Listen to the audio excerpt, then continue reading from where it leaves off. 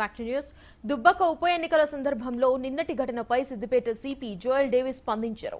పోలీసులపై media channels social మీడియాలో వచ్చిన వార్తలు పూర్తిగా అవాస్తవమన్నారు ఎన్నికల సిబ్బంది పకడ్బందీగా తమ విధులు నిర్వర్తిస్తున్నారన్నారు. సోదాల ఘటనలో ఎగ్జిక్యూటివ్ అధికారి వాళ్ళ ఇంటికి వెళ్ళే ముందు సెర్చ్ వారెంట్ ఇచ్చారన్నారు సిపి చెప్పారు. అక్కడ జరిగిన ప్రతి విషయం సాక్షుల సంతకాలు తీసుకునే చేశారన్నారు. నేను ఫోన్ చేసి ఎక్స్ప్లెయిన్ చేశాను. ఇక్కడ సిట్యువేషన్ మనీ సీసేసిన విషయం కూడా ఆయనకి ఎక్స్ప్లెయిన్ చేయడం జరిగింది.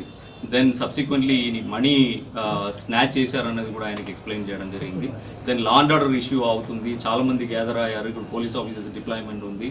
మీరు రాకూడదని చెప్పి కూడా ఆయనకి రిక్వెస్ట్ చేయడం జరిగింది. ఆయన రాను కూడా చెప్పడం జరిగింది. దెన్ సబ్సిక్వెంట్లీ హీ కేమ్ ఆయన వస్తున్నారని మాకు ఇన్పుట్ వచ్చింది. ఇక్కడ అప్పటికి law and order situation was going very bad ఆ టైంలో మేము అవుట్స్కర్ట్స్కి వెళ్ళి మళ్ళీ స్వయంగా ఆయనని రిక్వెస్ట్ చేయడం జరిగింది. సార్ మీరు ఈ టైంలో వస్తే మీకు ఒకటి సేఫ్టీ ఇష్యూ అప్పటికి చీప చీకటి అయిపోయింది.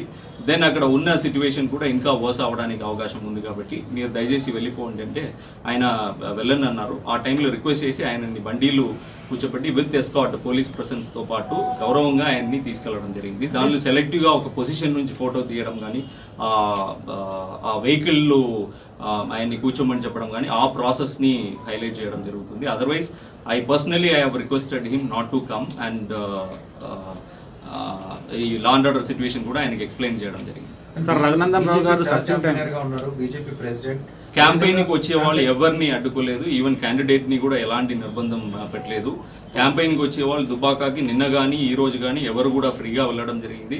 ఎవరిని కూడా అడ్డుకోవడం జరగలేదు. ఎవరిని కూడా అరెస్ట్ చేయడం కూడా జరగలేదు. ఎవరిని కూడా క్యాంపెయినింగ్ ఉన్న వాళ్ళని ప్రివెంటివ్ అరెస్ట్ కూడా చేయలేదు. ప్రివెంటివ్ అరెస్ట్ చేసిన వాళ్ళు కూడా అక్కడ తీసుకొచ్చి రోడ్లు ధర్నా చేసిన వాళ్ళు కానీ ఈ టీంని ప్రొటెక్ట్ చేయడానికి ఉన్న పోలీస్ టీంని లోపలికి ఎంటర్ కాకుండా